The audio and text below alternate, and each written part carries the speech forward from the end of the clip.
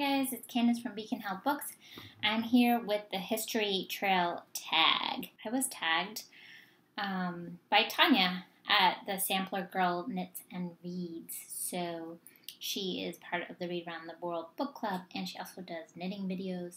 She's got a great channel, so check her out. Let's just step into it. Uh, number one, what book, movie, person, place introduced you to history slash historical fiction?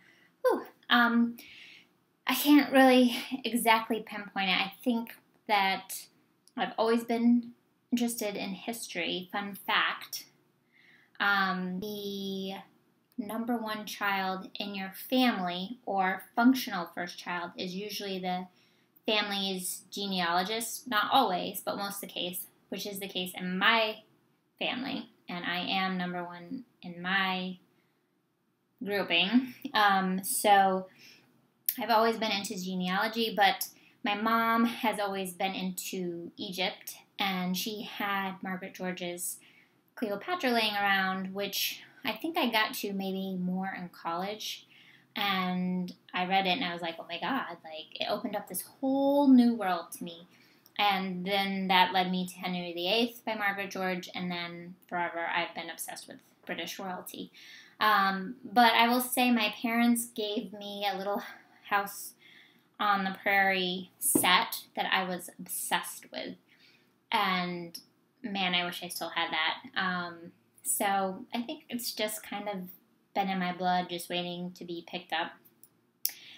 Uh, what what is your favorite historical recommendation? So I do normally say Margaret George, but since joining BookTube, I've been opened up to a wealth of possibilities, and I have to say I have not fangirled enough about the Peabody sisters. I mean, if you're interested in um, learning about early American Romanticism period, it is so good. I also often recommend uh, Exit the Actress, any book by Priya Parmar, and Exit the Actress was the first book I read by her and fell in love. Um, if you like epistolary or books written as letters, um, you'll like. So this book also is historical, and it's about Nell Gwyn, who was the mistress of Charles II, and I was just blown away. I loved it. And then she, Parmar came out with Vanessa and her sister, which is about Vanessa Bell and Virginia Woolf and the sort of group um, that they were all involved with, similar to the Peabody sisters, these intellectual type groups or creative type groups that got together of young people and really changed history. Just by being with each other they inspired each other and I think improved each other to a greater height. Um, so, you know, I'm looking for uh, my little group here if anyone's interested.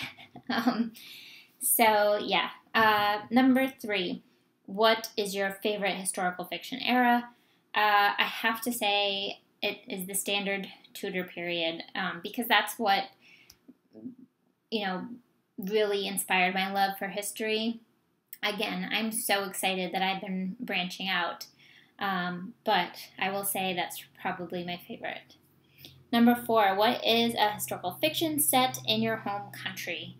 Well, I could name a ton that are from the United States. I wanted to name one that was in Vermont. Um, so there is a book out that I have not read that I would have been recommended um, that is based in Vermont. It's called Mr. and Mrs. Prince How an Extraordinary 18th Century Family Moved Out of Slavery and Into Legend. And also, uh, Ethan Allen, His Life and Times. Um, that's about the leader of the Green Mountain Boys that someone I follow on Goodreads, I think Jeffrey Keaton, highly recommended that. What historical eras do you avoid? I really don't avoid any era. I want to learn as much as possible, and the ones I know the least about are the ones I've not read the most. So the farther back we go into time, probably the less I've read it, and I need to read more. Like I haven't read any of the real, real way back classics like Homer and any of those things. What historical reads are on your TBR? Um, yeah, just a few. um, I'll just mention a few and, and some that I have. Um, Golden Hill by Francis Spufford. Anything by Megan Marshall, who she wrote uh, The Peabody Sisters. So the next book I'm going to read is about Margaret Fuller, and then she has a few others out. Um, I want to read Team of Rivals. I'm going to do a buddy read with that from Liz at Learning Reads um, in August.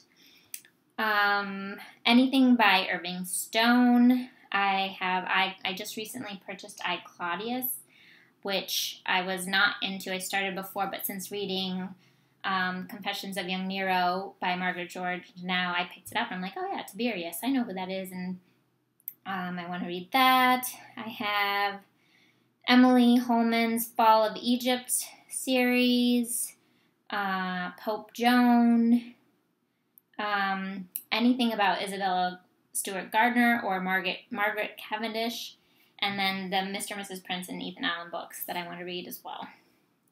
That's just a few, but I'll spare you. Uh, seven, what historical person inspires you? Well, Number one, very common answer. I just don't know how you can't be so super inspired by Abraham Lincoln. I'm just, I have a slight obsession with him. And speaking of obsessions, okay, I don't listen to country, but like speaking of girl crushes, because I have a few. Um, now that I've read Margaret the First, of course, I am obsessed with Margaret Cavendish, and I read The Peabody Sisters. I'm obsessed with Elizabeth Peabody.